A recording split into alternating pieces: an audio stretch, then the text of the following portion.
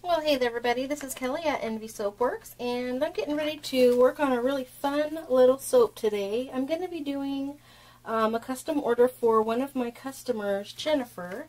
She um, wanted to have a vegan soap made as a gift for her daughter. She wants it scented in a pineapple fragrance. She had the um, colors picked out and also um, the design as well. So uh, right down to like how I'm going to swirl it. So what I'm going to be doing today is trying to do my best to accomplish um, the soap that she had envisioned. And she is wanting a very classic um, pineapple design. Here I have sunflower yellow, which I'm going to be um, doing kind of like an in the pot swirl with the yellow and some white and it is going to be um, layered then with a little bit of this very beautiful shimmery coppery brown. And I'm going to be doing a hanger swirl kind of like up and down to kind of pull the brown up to represent you know like the little brown um, you know like the little pineapple look. And then on the top she wants green. Now what I think I'm going to do for that is actually do some piping I have a um, Wilton leaf tip on here. We're going to see how that works out. Um, if it doesn't work out the way that I want it, I'll just kind of spike, you know, do like a really spiky textured top. So we'll just have to see how that goes.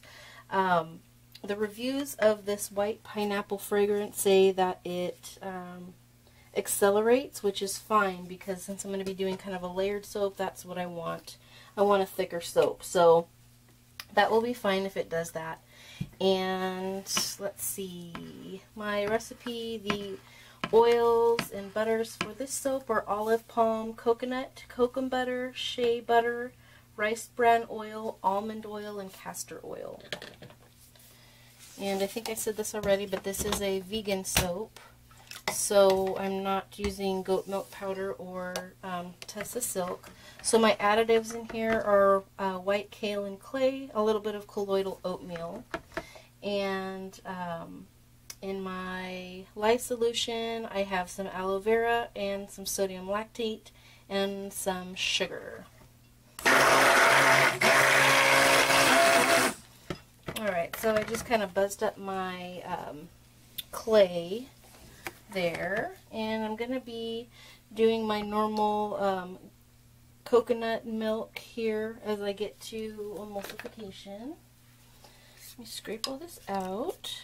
Now this fragrance, um, the pineapple fragrance smells amazing. I've had this fragrance for a really long time. Gosh, probably I've had it for a year and it smells just like a fresh pineapple, but I just haven't um, I just haven't got around to doing it. So when she said she wanted a pineapple soap, I was really excited because I knew that I had this fragrance. And honestly, I think the reason that I haven't done it is because the last pineapple scent that I did, it was pineapple jasmine. It um, caused some crazy ricing and my soap ended up getting like this really gritty texture and kind of separating a little bit. So I don't know. I think somewhere in the back of my mind I um, blamed the pineapple. but I'm sure it's going to be fine. Okay, so I'm going to go ahead and get this emulsified and add my coconut milk.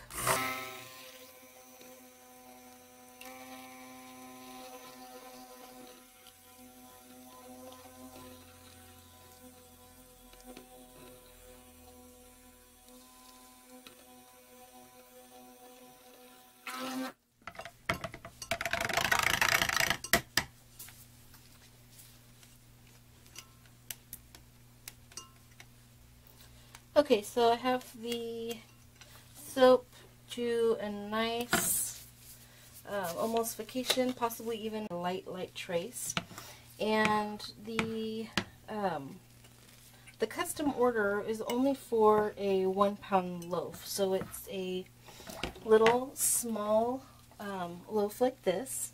Um, but since I had two um, enough for, you know, a two pound batch. I'm going to do two of the little one pound, so I'll have a few for um, my shop. And that way, if one turns out really crappy, maybe she'll like the other one. So I'll let her decide which one she likes best. And I'm going to be doing two different, um, you know, two different soaps. I'm not going to do the same design for both. So that is my plan. So now what I'm going to do is get my colors split up.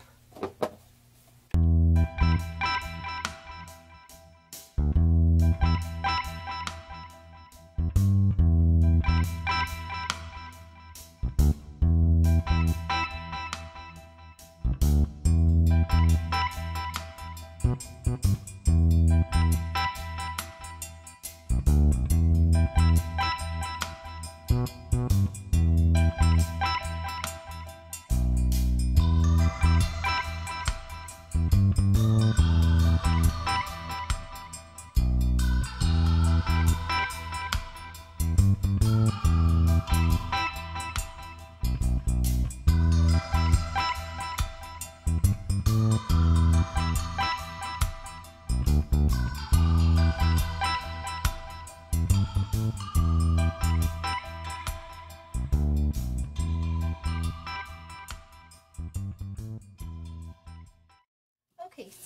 here are my um, pineapple colors, and um, what I'm going to do now is go ahead and get my fragrance in and hope that I don't have any issues with it. I'll go ahead and start with um, the green here, and um, man, this fragrance smells so good.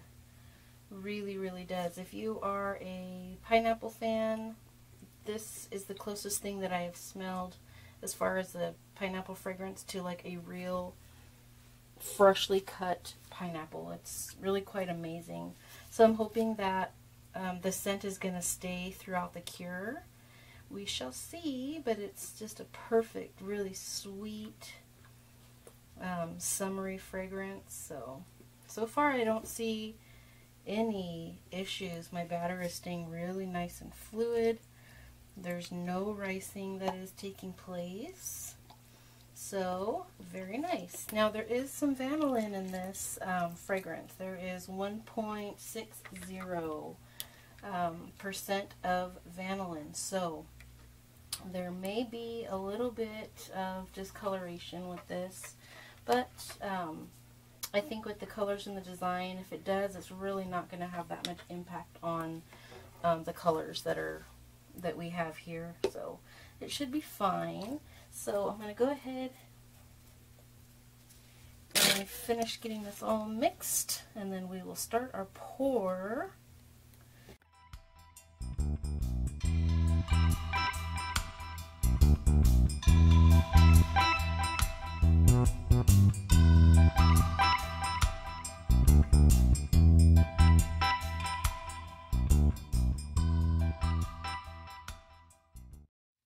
So the fragrance oil um, behaved a whole lot better than I was expecting. Um, I really was expecting quite a bit of acceleration, but so far my batter is really quite fluid, so I may have an issue with um, the layers that I'm wanting to get. So um, I'm going to go ahead and maybe start with the other one that I had um, for myself. And I'm just going to do um, a simple kind of drop pour with a hanger swirl for mine here.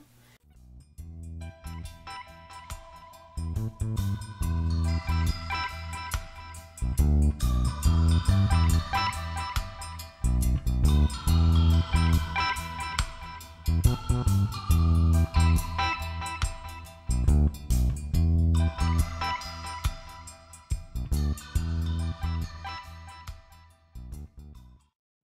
now I'm going to go in with my little, isn't this cute? The littlest hanger tool you've ever seen. And just do a few little um, circles around in there. Now I am going to leave this one as it is and I will mess with the top when I um, finish the second one. I want to just make sure that I have everything that I need for her soap first before I go and finish um, at the top on that one. Okay, so what she had in mind for um, her custom soap was to have basically um, just yellow and white or yellow and brown stripes up the mold and then have the green on the top like leaves. She did mention that she wanted some white or cream. So I'm going to be doing kind of like a drop pour um, with the yellow and the white just so there is some you know like kind of subtle swirls within the layers. So it's not just a plain layer of yellow and brown. I think it'll just add a lot, you know. So let me just do a quick go around. And it is thickening up pretty good. So I'm going to start with some white and yellow. A nice little base there.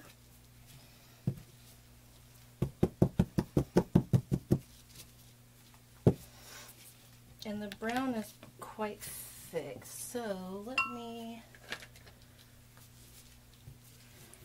I'm going to get it with this little spoon and try to do a little bit of a layer without breaking through much.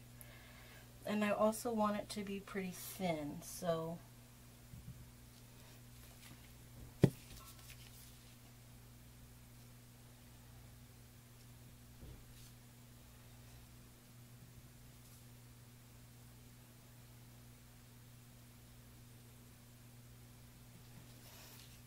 that's good. And then I'm going to go in with more of the yellow and white. And I'm going to pour it in slowly so it doesn't break through.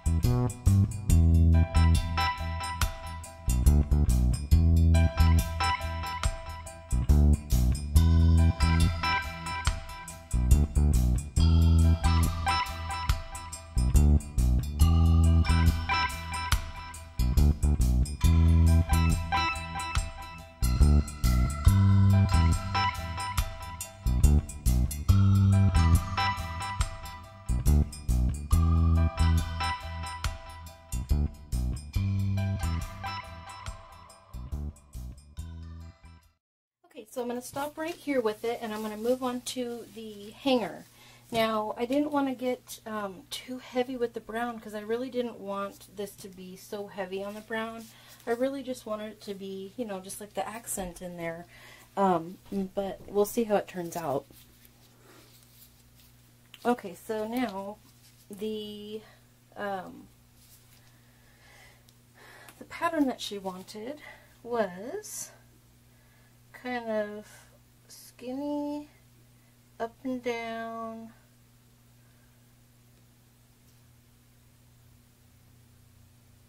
So it's kind of streaking and pulling that brown throughout the layers and hopefully going to give a pretty neat little pineapple appearance. That would be really cool. And I'm going to go ahead and go back through one more time just because it is thick and I want to make sure that we get a good, you know, mix of the colors in there. And so now I'm going to go ahead and add a little bit more of this to kind of just cover over the top. And then I will um, finish the other loaf that I had um, kind of hanging out on the side waiting for this one to finish. I didn't want to um, not have enough soap to, to do what I wanted to do on this one. So I'll go back to that one while I wait for um, my piping, the green that I have here left over, um, to kind of set up so I can pipe what will hopefully, hopefully look like leaves. Okay, so now let's get back to this. Now what I'm going to do here is just take the kind of light white and yellow and stick it in this yellow.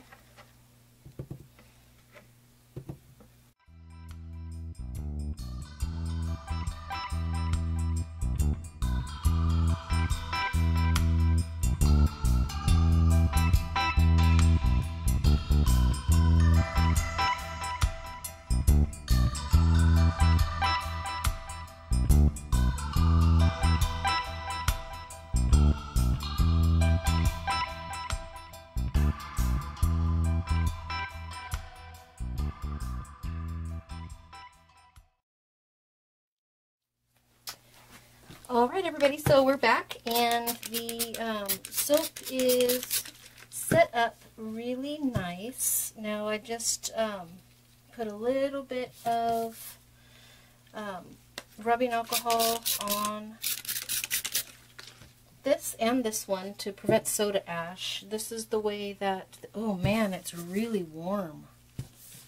This fragrance is heating up, so this one will probably go through gel and be a nice, um, nice gelled soap. But this is the way that this one turned out. I like that top. It actually reminds me of a pineapple.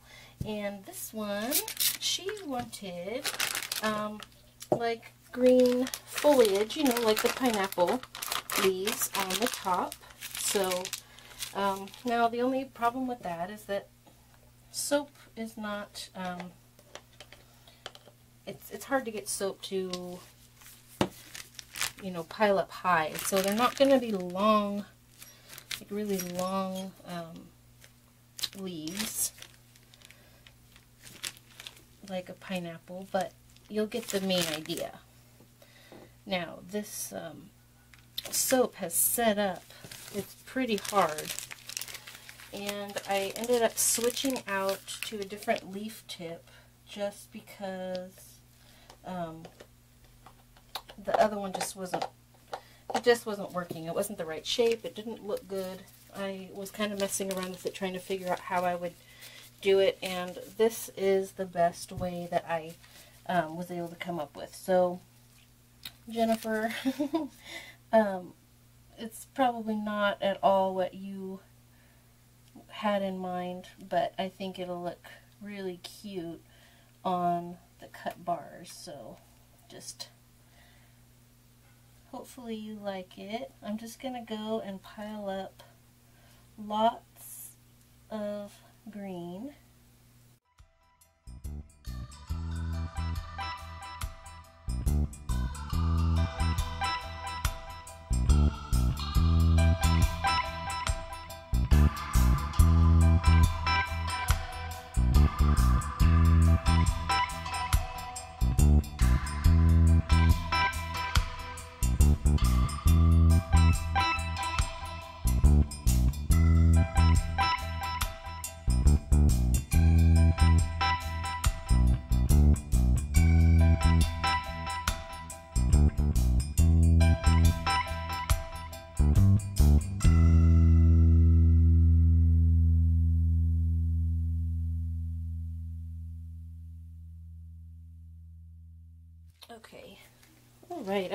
Actually really cute right there.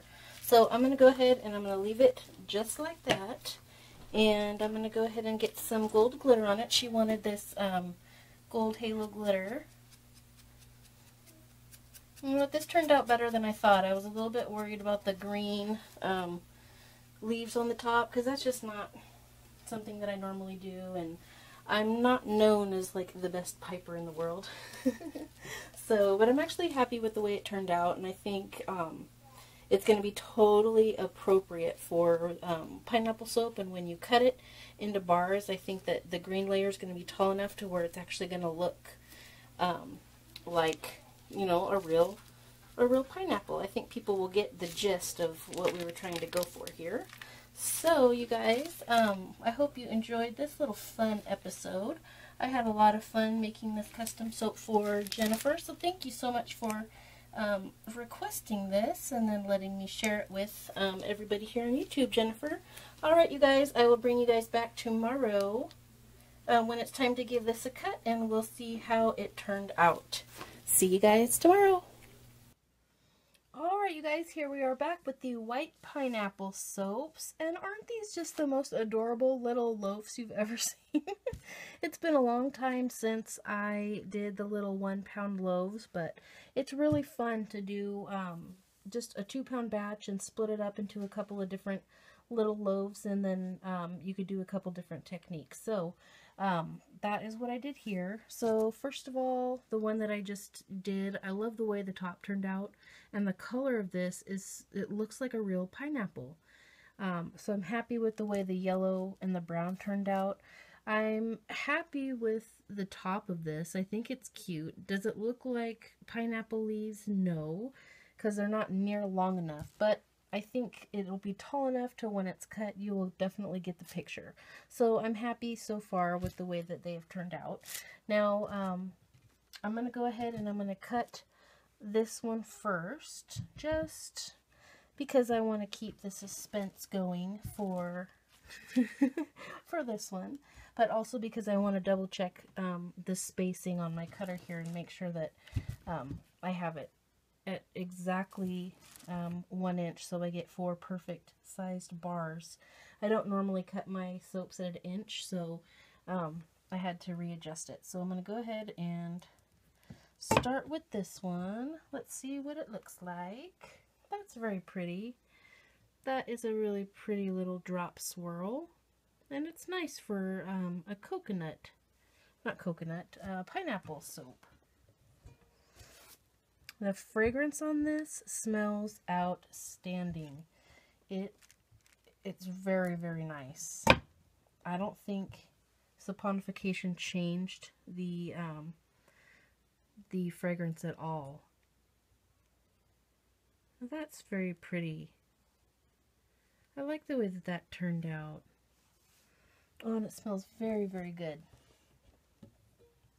So this soap I tell you, within a few hours, I could have unmolded this soap. It was so um, hard and it got so hot in the mold that um, it must have just been the fragrance.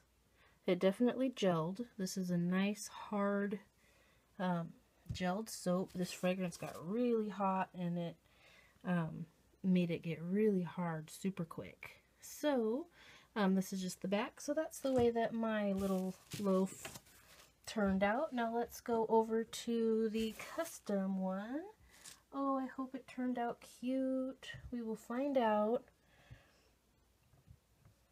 I do like the way that it looks. Let me get that a little closer so we can see it all. Okay. Let's see. Oh my gosh, it's beautiful. Oh, it's so pretty. Oh, I do like the way that that turned out. I'm really glad that I went back the other way because it kind of gave you more of the little V shapes. Now the the green on the top, hmm, it's it's not the best, but I think you get the picture. You know, it's obvious what I was going for. Um, so Jennifer, I hope I hope this is okay. I hope this is what you had in mind for your um, pineapple. But I'm happy with the way that it uh, turned out. There's the top. I tell you guys, the yellow is like dead on. Dead on for pineapple that, that turned out really nice. And it was a lot of fun to pipe too. I haven't, it's been a long time since I've piped, so that was a fun little, little challenge to do. Alright, so this is the last little slice right down the middle. Okay. And you can see um, the darker yellow. The white kind of disappeared. I think um, the white kind of disappeared due to um, the discoloration. The vanillin in this was like, I think it was 1.60% vanillin if I'm not mistaken. So, um, you know, I think that kind of changed the white to like a more creamy color that's kind of blending in more with the with the yellow, but that's okay. I think it's the perfect color for a pineapple. So you guys, this is how my little um, soaps turned out. Both, both ones. I'm happy with each one. So I hope you guys enjoyed this little fun episode, and I will see you guys on the next video. Thanks for watching. Bye.